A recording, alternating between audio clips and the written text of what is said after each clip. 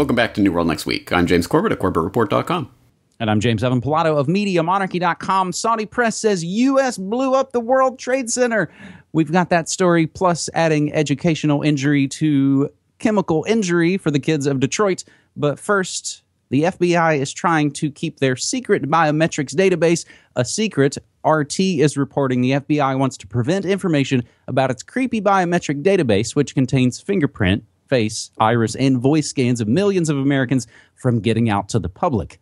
The Department of Justice has come up with a proposal to exempt the biometric database from public disclosure. It states that the Next Generation Identification System, NGI, should not be subject to the Privacy Act, which requires federal agencies to give people access to records that have been collected concerning them allowing them to verify and correct if needed. The proposal states that allowing individuals to view their own records or even an account of those records could compromise criminal investigations and, say it with me, national security efforts. The FBI claims the retained data could also be used for establishing patterns of activity.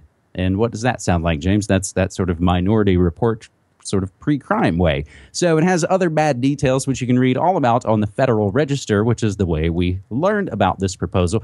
And it is open for public comment until June 6th, and there's a little button for it on federalregister.gov and there are 10 whole people that have put forth a comment, James. I think the first place I maybe heard this story was called The Trial. James. Excellent literary reference there because that's yeah that's about what this is it's uh, some sort of accusation that you don't know about by someone that you've never met, based on evidence you've never seen, that puts you in some sort of judicial process that you can't describe. That's basically what this is. And here's the secret evidence part of it anyway, which is this secret database that you're not even allowed to know anything about. Uh, you're not even supposed to know it exists, but they kind of have to put slip that into the Federal Register.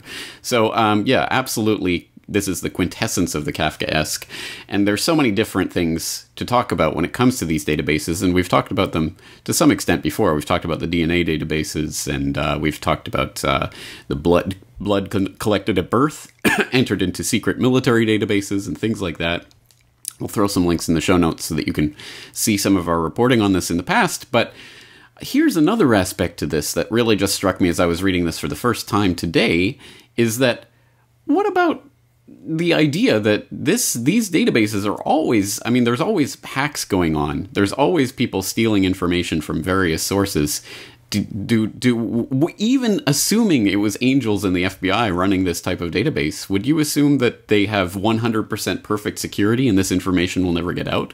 And what in the future will uh, crafty hackers be able to do with your you know all of your information including your dna i mean that's that's a, another creepy aspect to this when they collect and centralize this and put it behind lock and key i mean how safe is it anyway even if you did trust the government to, to be you know good stewards of this. So there's so many different aspects to this and it's garbage. Why doesn't a john oliver or someone like this do one of those shows where they expose this and get a million people to flood the comment section of of this right you know rather than some silly political issue? Well, I, that's a great idea. Let's actually have people submit this to John Oliver, whether I don't know which way, if he checks the, the tweets or the Fed book or which best way, but that's a that's a great actual solutions oriented thing that we can actually do. And in a lot of ways, yeah, James, it's just sort of waiting until this kind of stuff gets hacked and leaked, and we see the stories constantly. And these are where I think probably screenwriters and storytellers look deeply into the news and find these kind of stories and craft what we then go to the movies later and see as some fantastical thing about, you know, some kind of identity theft, you know, partial enemy of the state kind of charade. James, our second story this week, we go to Detroit as bogus tutoring programs stole $1.275 million from Detroit students. This comes via MLive. While Detroit public schools are hundreds of millions of dollars in debt, and its teachers worry about poor conditions and whether they'll even get their next paycheck. More cases of alleged corruption being exposed. The latest indictment results from an FBI Detroit Area Corruption Task Force investigation that began well over two years ago. U.S. Attorney Barbara L. McQuade's office claims that Carolyn Starkey Darden, the former Detroit Public Schools Director of Grant Development, left the district after nearly 40 years in 2005, at time which the 69-year-old created multiple after-school and tutoring entities that billed and were paid at least 1.275 million fraudulently for services never administered to students. James, I, I, may have said this before, and in a lot of ways, I guess I look at it as the microcosm, but I worry that the sort of open and public destruction of Detroit that we've sort of been watching on our newspapers, as it has actually broken, and we can see all the things going on with the Detroit water crisis and people literally turning up dead associated with it, that how many other cities and towns have this within it and I think that sort of gets to the question, James, that I don't know that we have an answer to, but sort of what was what was it that destroyed Detroit? I think we have to look at Detroit as a symptom of the nexus between corporations and government. And of course, in this case, it's the GM and the, the car manufacturers.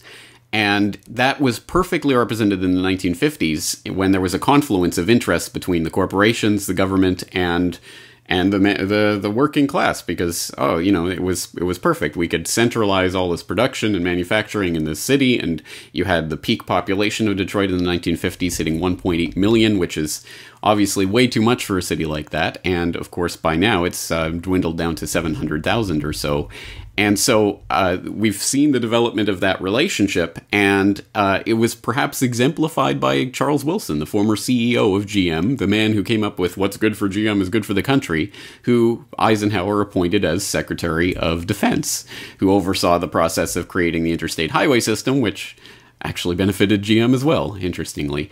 So that's that's that ne- nexus of influence.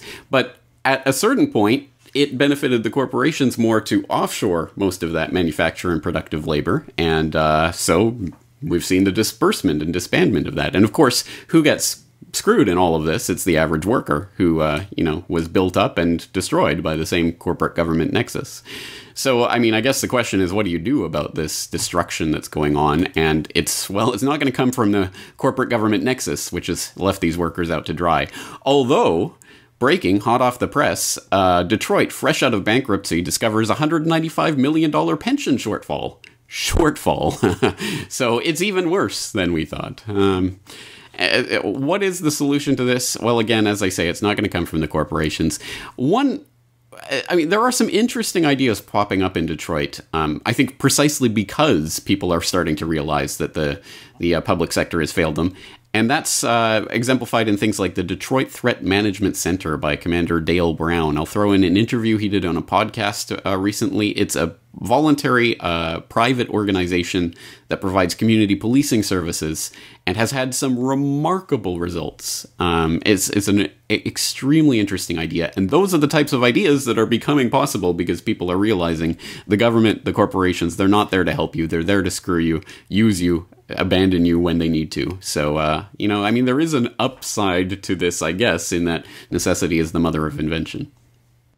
So, not to give any disrespect to all those injured in Detroit, that in some ways maybe they're actually going to be better off than all the other cities because their collapse has already been sort of accelerated and they're already setting up the alternatives as opposed to the other cities that have still yet to collapse and won't really have any idea what to do. Yeah, yeah. The, people who are living in the bubble um, tend not to prepare for what's coming after the bubble. All right. Well, it gets worse on episode 270 of New World next week as we move to our third and final story, James. It is a triple, and I found that I've kind of been adding in these 9 11 plus 15 stories again as the anniversary approaches. So, the first story, and we've hinted at this, and you know these stories have been building for months and months. So, in a way, it's a little bit of a little update basket for you. Saudi press says U.S. blew up the World Trade Center to create war on terror. The Saudi press, still furious over the U.S. Senate's unanimous vote approving a bill that allows the families of 9 11 victims to sue Saudi Arabia. This time, the London based Al Hayat Daily has claimed that the U.S. planned the attacks on the World Trade Center in order to create a global war on terror, saying, quote, September 11 is one of winning cards in the American archives because all the wise people in the world who are experts on American policy and who analyze the images and the videos of 9 11 agree unanimously that what happened in the Twin Towers was a purely American action planned and carried out within the U.S. Proof of this is the sequence of continuous explosions that dramatically ripped through both buildings. Expert structural engineers demolished them with explosives, while the planes crashing into them only gave the green light for the detonation. They were not the reason for the collapse, but the U.S. still spreads blame in all directions, end quote. And it goes on. So, James, this is what we talked about the possible pushback and blowback when these things move forward. And we've seen a lot of behind the scenes moves going on with Saudi Arabia. So, again, you don't, in all situations, don't so much listen to the yap yap. You got to actually look at what they do. But Chuckie Schumer, we learn, had already put the poison pill in that bill anyway. As the New York Post reported just before that vote, Senator Charles Schumer and other proponents of the Justice Against Sponsors of American Terror of Terrorism Act, oh, whoops, I misspoke, Justice Against Sponsors of Terrorism Act, JASTA, stuffed an amendment into the final draft allowing the Attorney General and Secretary of State to stop any litigation against the Saudis in its tracks. And for the hat trick, James, as you tweeted, U.S. government secretly destroyed evidence in trial of accused 9 11 masterminds, as Activist Post reports on May 11th. Defense lawyers for the accused mastermind of the 9 11 terror attacks asked for Judge Colonel James Pohl and the prosecution team to be recused from the trial and for the case to be shut down. Defense lawyers David Nevin and Major Derek Poteet said that the U.S. government destroyed evidence related to the case, according to the New York Times. The two men are unable to provide further details because the issue is classified, but Mr. Nevin said the evidence was favorable to the defendants. And those defendants are, of course, the vaunted KSM. So, pretty bleak stuff, James.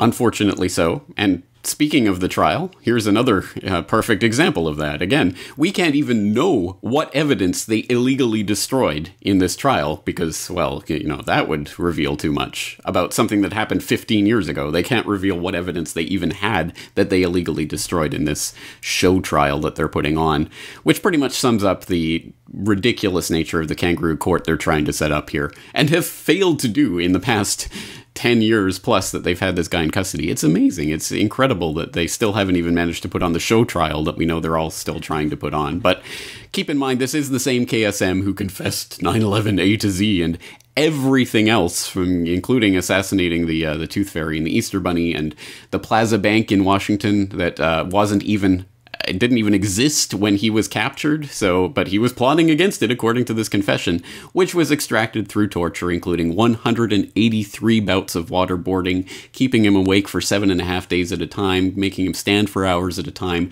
and oh yeah, capturing his children and telling him that they were going to torture his children if he didn't confess to these things. Do you think that might have motivated him to make a false confession? Maybe. Oh, I guess we'll never know because, of course, the CIA also illegally destroyed all of the torture testimony uh, that uh, that they had. So we'll never really know what ultimately happened there, and that's the whole point of it. And no one will ever go to jail for that.